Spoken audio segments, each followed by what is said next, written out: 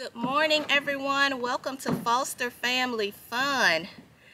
I'm out here early, me and my dad, and we are about to start planting these berry bushes. We have blueberries and blackberry bushes that we're going to be planting this morning. You guys already saw in a previous video how Rory used the auger to dig the holes. And then in a couple days, I'm expecting to get some elderberry bushes and we're going to put these back here in the same area.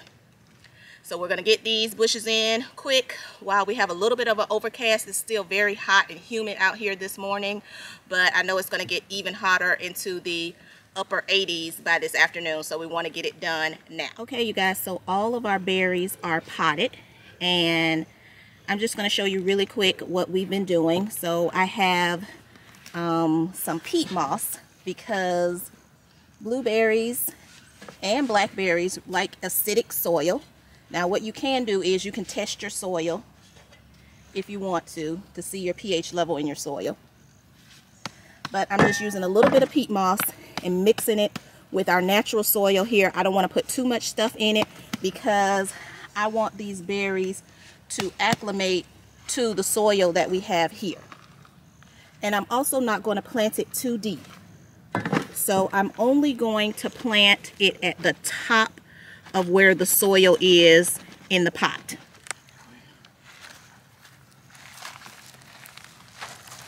So I'm just going to, it's going to remove really easy because they're long overdue for needing to be planted. But I'm just going to loosen up the soil at the bottom just a little bit. Test out the hole. Make sure it's not too deep to get in here because I don't want it to go too far. Just to plant it at the soil level from the pot.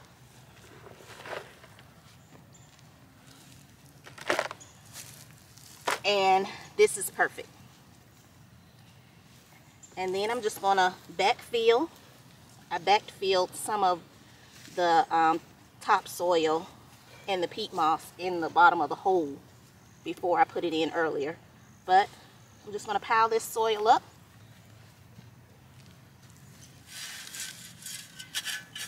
Use the shovel and pile this soil right up. and press it in.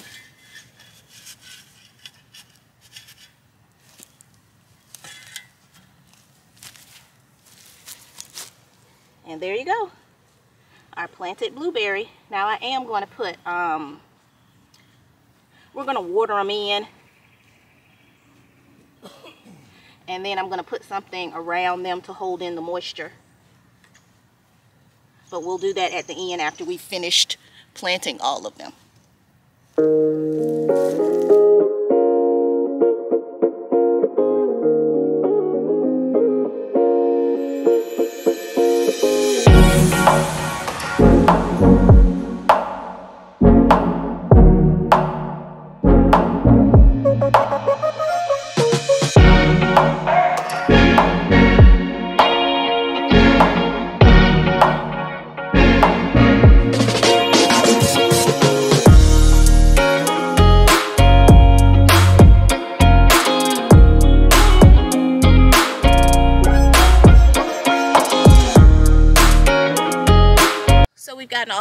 Berries planted.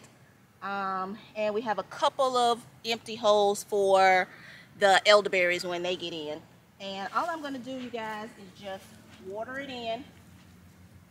Really drench them in good.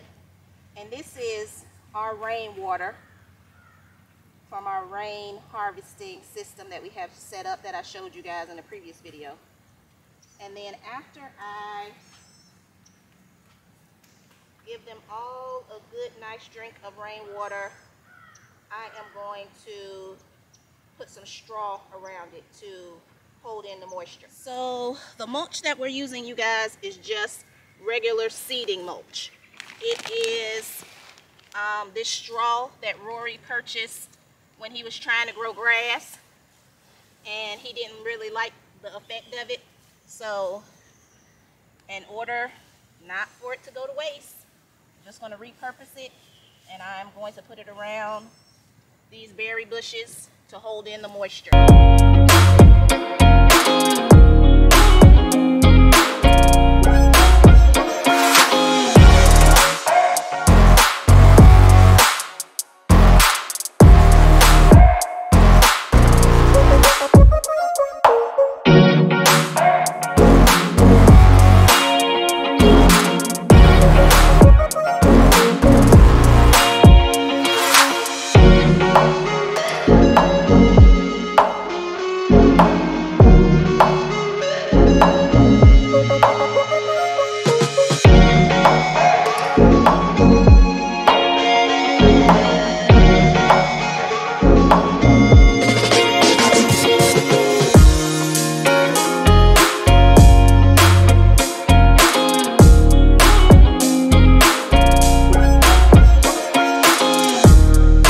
You guys, so I think it's looking good.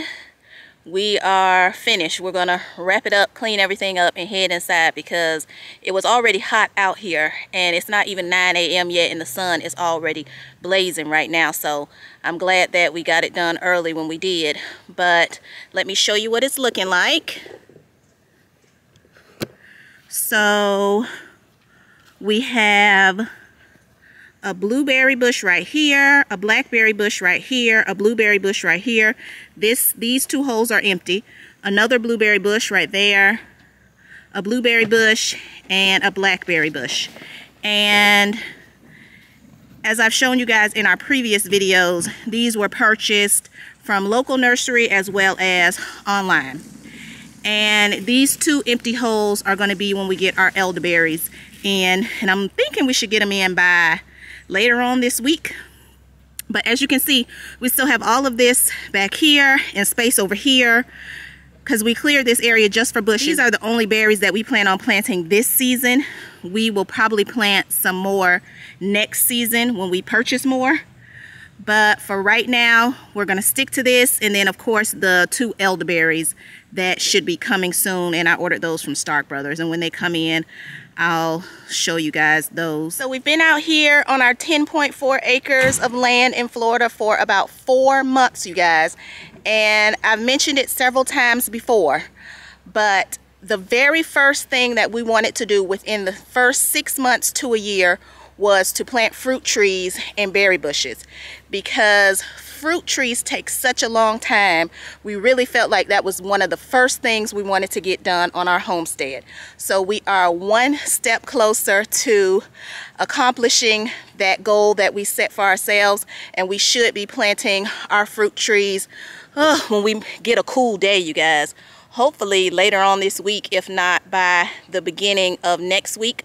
So if you haven't done so already, go ahead and hit the subscribe button and the notification bell. And I will see you guys in the next video or in the next live on the land. Thanks for watching.